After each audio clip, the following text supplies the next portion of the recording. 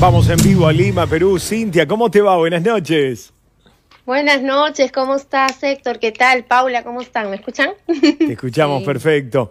Bueno, estás, vemos, en tu mejor momento, pero dentro de tu casa, armaste el set para hablar con nosotros. Vamos a ir en la charla un poco de color, le vamos a poner, pero primero te queremos preguntar sobre estos toques de queda. Decime qué cambió de la última vez que hablamos hasta ahora y cómo se preparan para la fiesta, Cintia. Bueno, mira que la última vez que conversamos, yo misma estaba pues contenta, todos estábamos contentos porque poco a poco ya se estaba empezando a reactivar todo, ¿no? Eh, lo que es los centros comerciales, los cines, los teatros, poco a poco, el turismo, ¿no? Que muchas personas viven acá el turismo. Y, y bueno, Ah, con, con, la variante Omicron eso ha tenido que cambiar y el gobierno ha decidido hacer ello con las restricciones para que el impacto sea menos fuerte, ¿no?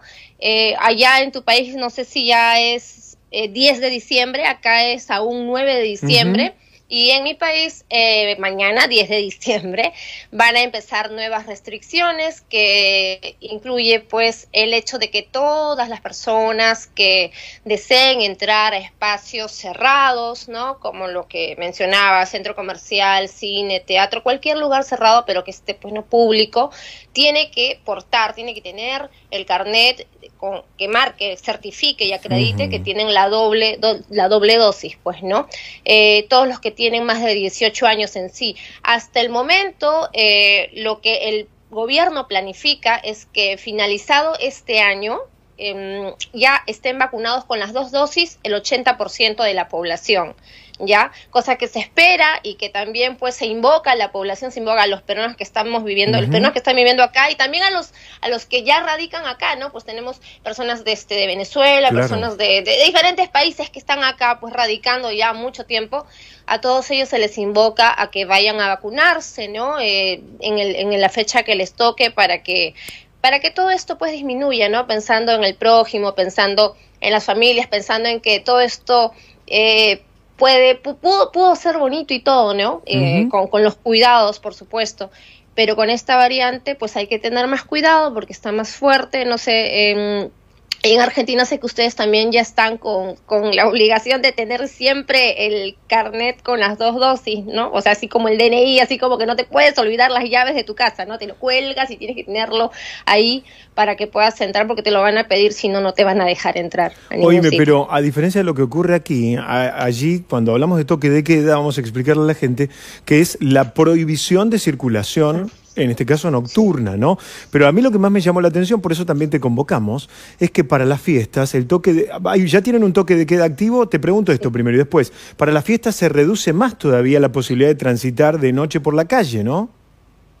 Así es, mira, justo eh, el toque de queda siempre es de 2 de la mañana a 4, perdón, sí, de 2 de la mañana a 4 de la mañana, o sea, de 2 de la madrugada a 4 de la madrugada pero ah, ahora, o sea, con, en la misma Navidad y en el mismo Año Nuevo, va a ser de 1 de la mañana a 4 de la madrugada.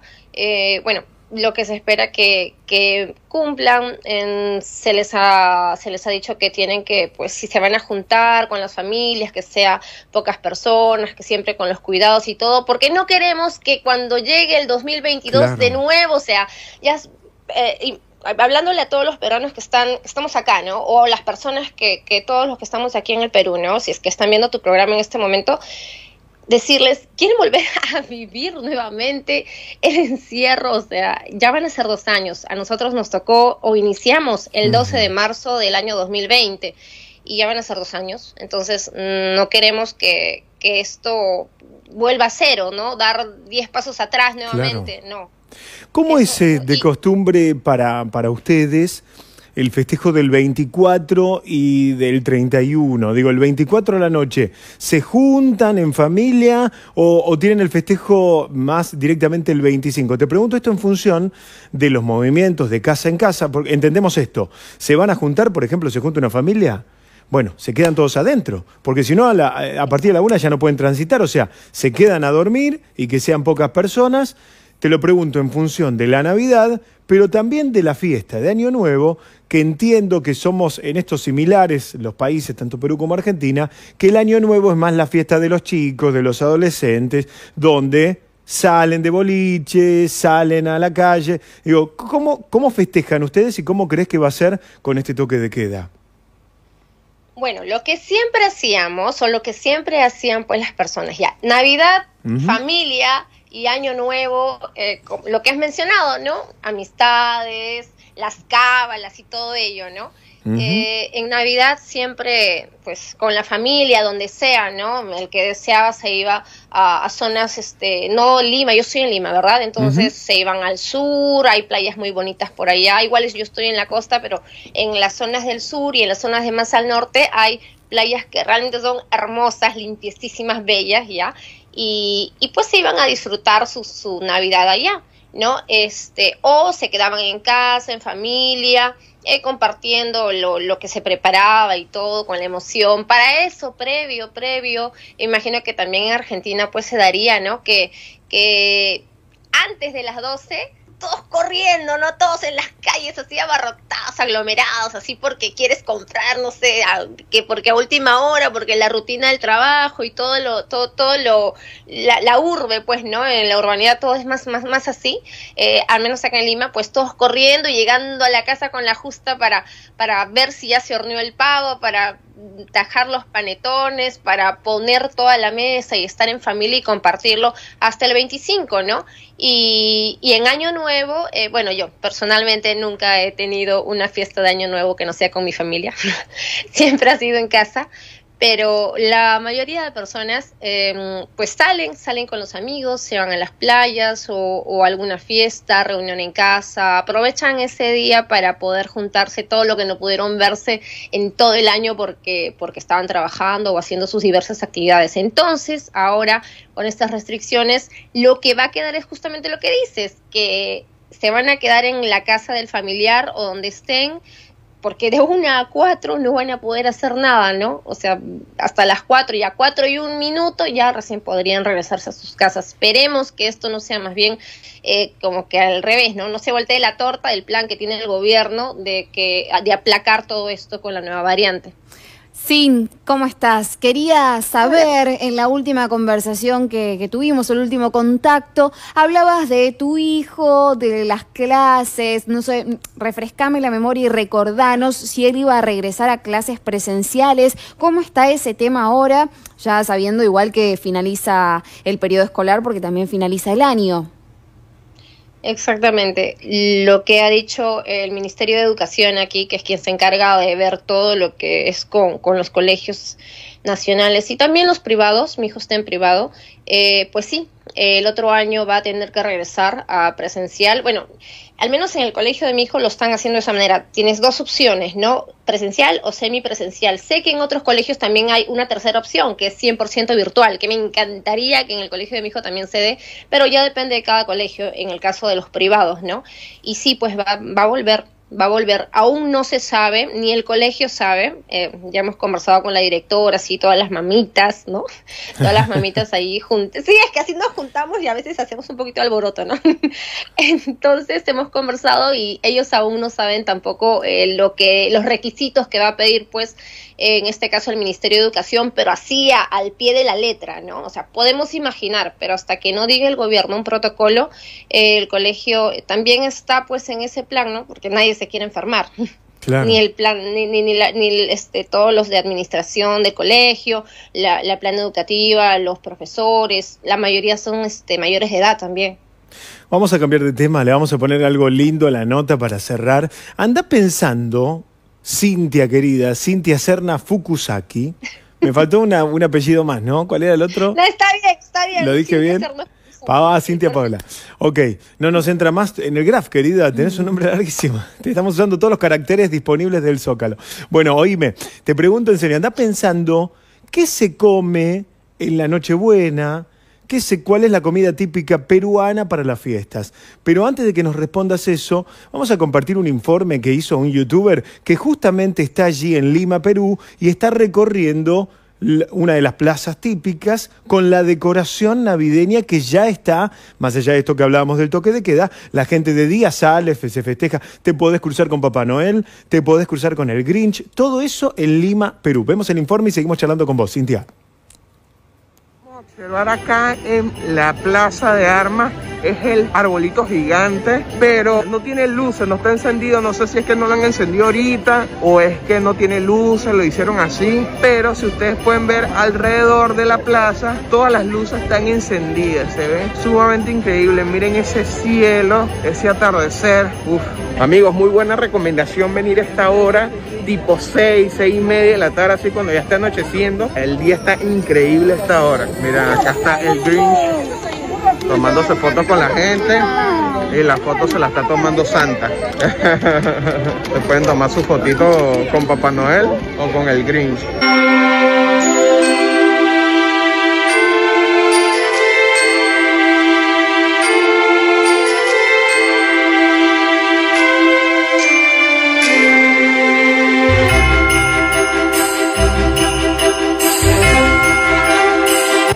Quiero que vean cómo han adornado la municipalidad, si se dan cuenta. En todo el medio de la municipalidad hay un nacimiento. ¿eh? Ahí está José María, los Reyes Magos.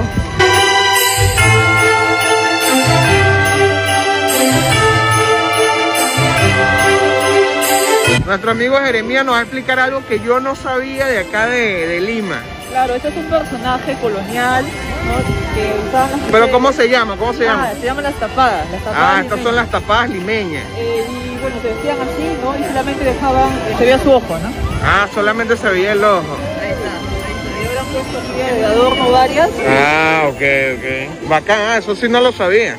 Aprovechaban que, que nadie las veía y ejercían la, el servicio de la prostitución, ¿no? Y el virrey dijo, no, ya no quiere más, pero después regresaron y nada, ahí. Pues. Ah, ya. Pero miren, aquí hay otra tapada, ¿ves? Esta se ve más de lujo. Esta tiene un poco más de nivel. Qué lindo todo esto. ¿eh? Le vamos a agradecer la gentileza a Oswald Detox, es el youtuber que está ahí en Lima y que registró este material. Contanos, por favor, qué era lo que veíamos, Cintia. ¿Qué era eso que nos estaban mostrando? El Grinch, Papá Noel, lo conocemos, pero después, ¿qué eran las tapadas? Ah, bueno, las tapadas en la época del virreinato eran, son, bueno, eran mujeres que iban así, literal, tapadas, tapadas, tapadas con un, bueno, no con esas piedritas, esos espejitos ahí, ya el artista ha querido pues hacer volar su creatividad, pero este, se ponían una tela gigante especialmente de, de material encaje, algo así, como que de tul, así como que misterioso, ¿no? Y se tapaban todos, solo se veía un ojito, ¿no? Y y pues sí, lo que dijo el jovencito es cierto. Ah, bueno, viene tu compatriota. Oíme, esto es un sábado a la tarde en la plaza. ¿Cuál es la plaza esa? Uy, la Plaza de Armas de Lima, todas las navidades, todos los años, la Municipalidad de Lima se encarga de hermosearla, ponerla así llena de lucecitas de vida para que las personas, pues que todas las, familias que deseen ir ahí a pasar su tarde, ¿no? Eh, pues la vean así linda, llena de luces, de, de, de, ese, de ese espíritu navideño. Eh, o sea, te estoy hablando que yo me acuerdo cuando he ido por allá, eh, bueno, no, el año pasado no he ido y hasta ahora, hasta el momento tampoco este año no he ido para la Plaza de Armas, pero la última vez que fui, o perdón, la primera vez que fui y vi esas luces era el año 2004, 2005, y yo ya veía esas luces, o sea, eh, ya es una cosa típica de, de toda la Plaza de Armas o en sí de la municipalidad, ¿no? Que se encarga de hacer eso. Y lo que no sabes, lo que no sabes, lo que no sabes. ¿Qué? Eh, es que, viste que la bajada de Reyes es el 6 de enero. Sí. Ya. Hacen todo un show hermoso por la bajada de Reyes.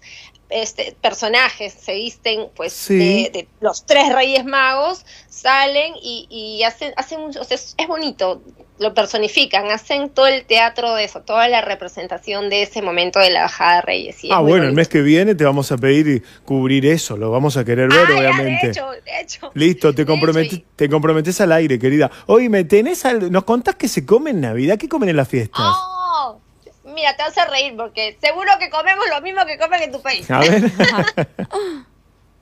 bueno, comemos el pavo. Sí. el pavo horneado, este, relleno, ¿no? Todo, todo así bañado con, con, con la sazón, con el ajipán, el preparado, todo eso. Eh, bueno, acá lo curioso es que algunos prefieren hornearlo eh, en, en lugares que no es este el horno de su casa, ¿no? Como que prefieren hornearlo en las panaderías y como que las panaderías, pues, ¿no? Ya están todos los letreros en las calles de las panaderías, en sus puertas, que dicen se hornea pavo, ¿no? Y ya ¿Que te todos alquilan la parrilla? ¿Te alquilan el horno? Claro, te hor- hornean, ¿no? De, ponen horarios, ¿no? Y Ah. a ver cuál familia, ¿no? De por el barrio, ¿no? ¿Cuál familia ya hornea de tal a tal hora, lo recoge y ya está. Eh, pues lo, lo, lo- ellos, o sea, como que ese es su servicio, ¿no? De las panaderías y lo hornean y sale riquísimo. En mi casa también lo han hecho, en mi casa también este, han hecho eso de hornearlo en, en la panadería, pero también lo han hecho en el horno de acá, ¿no? Y, y como que a veces dicen, ay, salió seco, ¿no? como que prefieren en la panadería, ¿no? También se come el chancho, este, bueno, el clásico panetón. Mira, a mí me encanta. Ah, y la chocolatada caliente. O sea, acá ahorita es ve- ya vamos a entrar al verano. El 21 de diciembre, igual que en tu país, Sí. entramos a la, a la estación de verano. Y, pero bueno, seguimos las, las tradiciones que, que están allá pues un poquito más por América del Norte, ¿no? Que comen el chocolate caliente porque supuestamente allá hace frío. Bueno, acá nos morimos de calor, pero tomamos nuestro chocolate caliente. Y se brinda con la champaña que yo no tomo porque la vez pasada te dije que yo no, no, no le iba a esas cosas. ¿No tomás nada de alcohol? No me gusta, no sé. Mira qué que bien, le no, tomes. Bien, querida. Tenés que ser sana. ¿Qué dice Paula? Sin, ¿qué tenés pensado hacer vos en particular con, bueno, el tema de las restricciones, pero tratar de pasarlo lo mejor posible? ¿Te vas a juntar con tu familia? Sí, vamos a estar acá en la casa, mi mamá, mi hermano, mi madrina, mi tío, de parte de, de mi papá, este, y mi hijito, los cinco acá en la casa. Y, la nosotros tradición, nomás- perdón que te interrumpa, la tradición es similar acá a la de Argentina. ¿Se abren los regalos pasada la medianoche del 24 ya al 25? ¿Puedes creer que a mí me hacían aguantarme eso así hasta la medianoche? O sea, medianoche ya iniciando 25, ¿no? Como que es feliz Navidad, feliz Navidad. Nosotros los niñitos, cuando yo era niñita, ya, ya, mi regalo, ¿no? Pero ahora que mi hijo tiene 12 años, le dicen, no, que el niño abra ahorita, no, 7 de la noche el día anterior, no sé, ahora el día desde el 23 ya está abriendo el regalo ya. ¿Qué va? Está bien, los chicos son impacientes. Pero- Muy pero, bien. otra- en- el caso, en el caso de, bueno, nosotros ya los peruanos, a mí me gustaría, me gustaría, y lo voy a proponer en mi casa, que pues la Navidad, eh, además de, de pasarlo en familia y compartirlo lindo, en- pues compartamos comida típica del Perú, ¿no? O sea, un cuy Claro. una rica pachamanca, pachamanca, la pachamanca este, se caracteriza porque tiene todas las carnes, carne de pato, carne de res, Uy, carne de chancho, carne de carnero, este, el pollo también, y tiene todas las carnes con sus ricos camotes, entonces sientes esa, ese, ese, es- ese dulce con salado, habas, ah, la pachamanca, se- ¿sabes por qué se llama pachamanca, no? No, Porque ¿por se qué? cocina, porque se cocina en la pachamama, abajo, en la Ah, en la tierra. tierra, Se hace un ah. hoyo, se hace un hoyo en la tierra, eh, se, pues se tapa, se cubre bonito, se llena de piedras calientes, calientes, calientes, pones la comida. Como el curanto, claro. Acá en el sur lo sí. hacen. Qué rico. y- y- Qué rico. Por eso le llaman pachamanga, por ser pachamama. Y también me gustaría que, que además de comer su panetón, porque a la gente pues le gusta y es tradición y así nomás no se lo vas a cambiar, me gustaría que también coman el rico turrón. A ver qué tenés ahí de sorpresa. acá está. Un turrón, que me lo voy a comer yo solita cuando acabe el programa. Mi- Uh, Uy, mirá qué pedazo de turrón, Es un querida. turrón, ya. Ve, el turrón está lleno de miel. Esto de acá es una masa que, ay, tienen que probarlo. Miren, no sé, ustedes me dan su dirección y yo se los mando, ¿ya? Pero en serio, te, que te- probar. pero te lo pasamos en serio. De verdad, pero, bueno, no creo que, haya, que, que llegue chancao, ¿no? No que llegue chancao. Pero eso, ahí comen cuatro o cinco personas o más. Ah, no, más, sí, tampoco es que te- me voy a embutir yo todo eso, ¿no? Pues Porque, bueno, este, acá comparten hasta, sí, más de cuatro, o sea, como que comen un poquito nada más cada uno porque, porque bueno, en realidad el turrón es eh, tradición del mes de octubre, del mes del Señor de los Milagros, y, pero es, pero es típico acá, es súper clásico acá y lo venden en todos los meses del año, o sea, eh, sería lindo que, como te digo, que en vez de un pavo, eh, pues compartan una pachamanca, un cuy, cosas así peruanas, ¿no? O, o, bueno, el turrón que te digo, un suspiro limeño. Ah, pero para Año Nuevo, para Año Nuevo, Sí. el- incluso el turrón, el turrón tiene su, su, su historia. El turrón, este, era, fue, o sea, la historia que es real, fue hecho por, hace tiempo, en la época de, de como que del virreinato, una señora que se llama Josefa, que se llamaba Josefa Marmanillo, ¿ya? Y ella, bueno, muy conocida como Doña Pepa luego, ella pues eh, se solventaba ah, por ser una gran cocinera, cocinaba delicioso, ella era de Cañete, que está un, más, un poquito más al sur de Lima, un, lugar muy bonito, de que es más, mi, mamá este, vivió por muchos años ahí, yo de chiquita también la pasé mucho tiempo por allá. Eh, ya esta señora, eh, pues de repente se estuvo, empezó a tener una enfermedad que, que implicaba en sus manos. Entonces, pues justamente su trabajo de la señora Josefa eh, implicaba con las manos, porque era cocinera. Y, y de repente eh, escuchó de acá, acá en Lima, eh, estaba pues el Señor de los Milagros, que es un Jesús, ¿no? Un Jesús eh, que lo sacamos todos los años en procesión, siempre en el mes de octubre. Y vino, vino, cuenta la historia que ella preparó un postre especial para el Señor de los Milagros, que le llamó el turrón. Y cuando estaba ella ya en plena procesión, eh, pues levantó el turrón, ¿no? Como pidiendo, pues, ¿no? Este, implorando misericordia para poder curarse. Y, y se curó. Y el milagro dice que se curó, la historia dice que se curó y llegó nuevamente a Cañete, curada, sana y que todos los años venía ofreciendo su turrón, que luego se llamó el turrón de Doña Pepa. Bueno, ahora ya hay mil marcas. Qué buena ¿no? Mil historia. marcas, mil- Qué buena historia. Cintia, te queremos agradecer un montón. ¿Tenés algo más? ¿Tenés un bonus track? Porque te vi con una. quiero, quiero- ¿Qué te quedó Vamos ahí, a pedir un querida? deseo, Vamos a pedir un deseo. A ver. En tu país también se comen uvas, ¿verdad? Sí. Por Año Nuevo. Ya, entonces, me la como yo por Paula. Paula, pide tu deseo. Me lo voy a comer. Ay, a ver. Eh, bueno, Ya listo. comió. Ya está, claro. Ya se la- Ya, pedí. Tardaste mucho, Paula, ya está. Pe- Listo, lo- listo, pedido, pedido. ¿Se puede pedir tres o no? Me- mira, acá hay, acá hay 12. Si quieres, pide 12. Pero déjale uno a Héctor. Ya, Héctor, tu deseo. Ya lo tengo, dale. Dale nomás. Listo, perfecto, excelente. Vamos todavía. Vamos todavía, Cintia. Oíme, te queremos agradecer un montón que hayas estado con nosotros. Siempre le pones muchísima onda a la información y eso habla de tu profesionalismo. Que tengas una excelente Navidad, feliz año para vos también. Y prontito nos hablamos, yo creo que en enero estamos de nuevo hablando, ¿te parece? Para la bajada de Reyes. Para la bajada de Reyes. ¿Cómo te siguen en tu canal, en tus redes sociales? Ah, ya. Ahora sí sé lo que me pediste. Excelente. Ahí está Cintia Serna Oficial. La siguen a Cintia Serna Oficial. Ah, no. No, oficial no. OFC. Ah, no. Es que OFC, oficial ahí está. mijito, OFC. Cintia Serna OFC. Cintia Serna OFC. Te empezamos a seguir ahora. Cintia, te mandamos un beso grande. Gracias por estar. Muchas gracias. Cuídense. Chao, salud. Felicidades. Casi las 2 de la mañana en la República Argentina. Mirá qué buena la plaza allí en Lima, Perú. Te digo, ¿vos sos Team Papá Noel o Team Grinch, Paula? Mm, team Grinch, me gusta. Yo también soy Team Sí, Grinch. Yo sé que sí, estaba sí. mirando los disfraces y me, me hubiera encantado ser el Grinch. Igual me pareció como- muy copado ese Papá Noel que le sacaba las fotos a los otros con el Grinch, que le robaron todo el público. Te voy a decir algo. Ayer en el edificio donde yo vivo vino Papá Noel. Ayer, ayer 8 de diciembre, a la tarde vino Papá Noel. A la tardecita, para que los chicos se saquen fotos. Y vino el Grinch también.